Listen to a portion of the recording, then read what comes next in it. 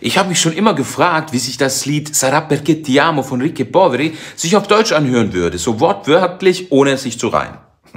ja. Let's go. ja. Ich sing im Rhythmus deines süßen Atems.